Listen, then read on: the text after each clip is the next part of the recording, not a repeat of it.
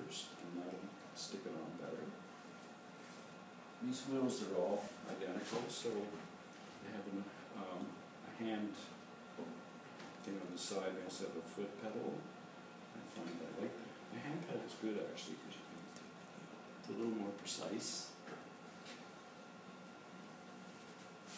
They'll go really fast,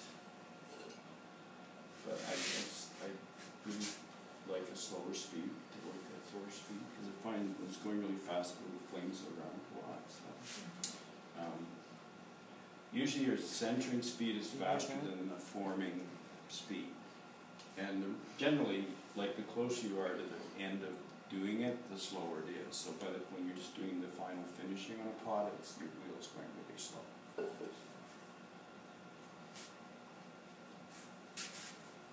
Try that.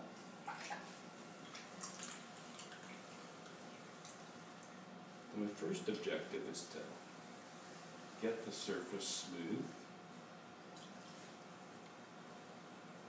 I am trying to get it in the center also, but the first thing is just to get it rounded and smooth.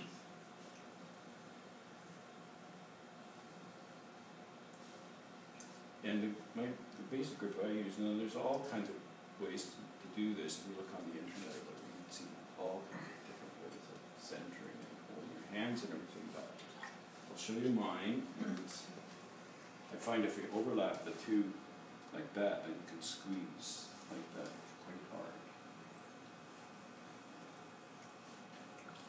And the reason I'm bringing it up into a cone shape, and what that does is that you can get at this area down here and work it. Otherwise, if it stays in a ball shape, it's harder to get in at the bottom. And to keep your hands from moving, usually if you lean on your, I usually lean on the right arm, and that will really steady it.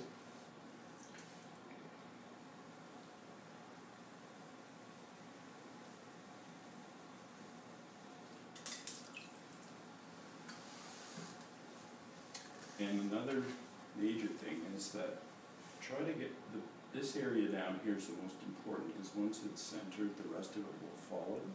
So I try to pinch in, I use the bottom of my hand to pinch in on that and make sure that's even there. Centering is just something you have to practice, and the more you do it, the better you get at it, I think, so. um, So that's pretty much centered.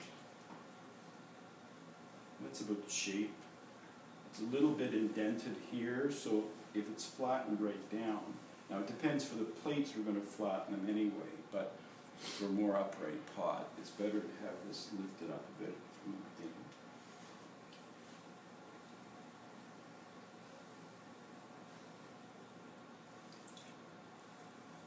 I'm not hmm. sure whether to do, to do a regular pot or just go right to the plate, it's what would be more. I guess. It's all related, so, okay, for the plate, so for the opening, this is open, the opening stage. You can use either hand and whatever feels comfortable. I think generally, if it feels comfortable, that means it's probably okay, so. And if you feel awkward and uncomfortable, then it's gonna be difficult to sustain that, so. So you would open it like that, whether you're doing a plate or, or Yeah, a pot? yeah, Okay. you always start the same Yep. way, because the main thing this is for is it sets the depth. Like, You Mhm. wanna know how deep you have to go and how much clay you're gonna leave, like for a Mhm. base, so Mhm. you set that right away. But you would leave more for a base for a plate, right? Yeah, these are gonna be trimmed a bit, and they, they have to be a bit thicker, but not too thick, so. So how thick? Well, Um, I'll do this and, and show you. Say for a smaller, depends on if you're gonna have a foot, like, let me show you an example of a trimmed. So that one's flat, so that doesn't have a foot. So basically that would be thinner on the bottom. Right. And that has more, a bit of a foot, so it was, it was thicker. But if it's too thick, it'll make it heavy, so, you know, the sort of, it's the. Yeah, I'm not into trimming, so I don't, Let's see, I'm looking for so. That's the best part. You fix all your mistakes. a lot of people really like trimming, so. What time?